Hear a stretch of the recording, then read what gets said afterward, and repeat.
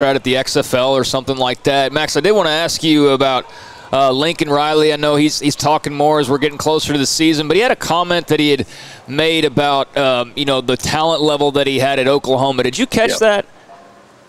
The the one where he said he had the third or fourth best talent when he went in the playoffs. Yeah, and, and I was just curious of, of, how you took that. I mean, I know Oklahoma fans took it one way, of course, and then there's other people that took it other types of ways. But how did, how did you take that, him saying that he always had, you know, the third or fourth, like you said, uh, most talented team in the playoff?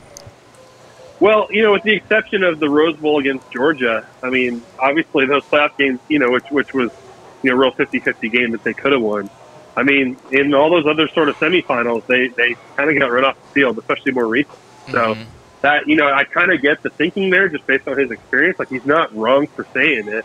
Um, I, you know, what he's the statement he's making is he thinks he can get a lot better teams at USC, and, and I don't know. I don't, I don't know about that. I think it's.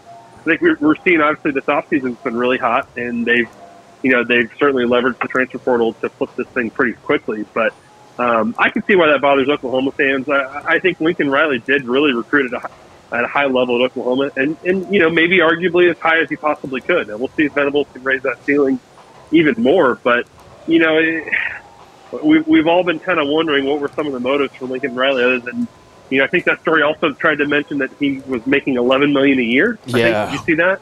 Yeah, which is like okay, yeah, that kind of makes sense. Um, but uh, but you know, I think I, I, look, there's not going to be any justification that makes an Oklahoma fan happy about uh, what he did. Right. But, um, you know, he, his bet is that they can get even better players at at SC, and uh, you know, as, as we saw from their playoff runs in Oklahoma, like, okay, when you've got that team, you still have to put it all together, and, and I'm curious to see how long, how many years that takes before he's got the kind of rosters where he's he's in better shape uh, at SC than he was, you know, towards the end of Oklahoma.